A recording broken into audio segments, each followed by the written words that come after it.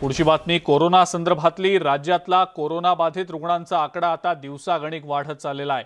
राज्यात गेल्या चोवीस तासात एक हजार एकशे चौतीस नवे रुग्ण सापडलेले आहेत तर एकट्या मुंबईत सातशे त्रेसष्ट नवे रुग्ण आढळले.